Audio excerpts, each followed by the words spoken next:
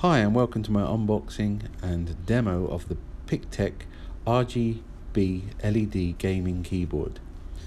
I purchased this off Amazon and it arrived within one day through Prime. It was reasonably well packed and there was no damage to be found. The instructions are minimal but enough to get it started and operate the functions.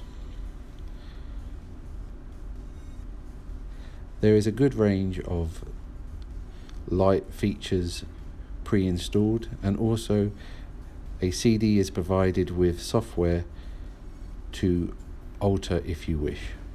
This cost 43 UK pounds or 56 US dollars. I'm running through some of the light features that are provided. There is also a fade and light off function.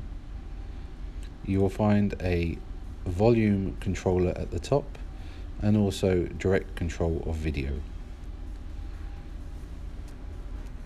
I found it to be a very nice keyboard.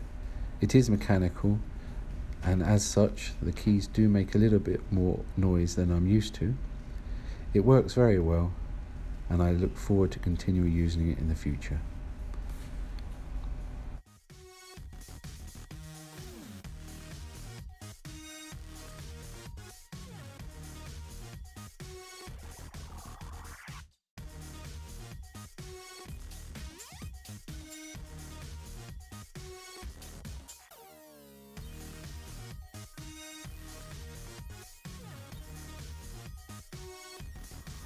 Thank you for watching and please like and subscribe for more videos to follow of reviews of tech and 3D printing.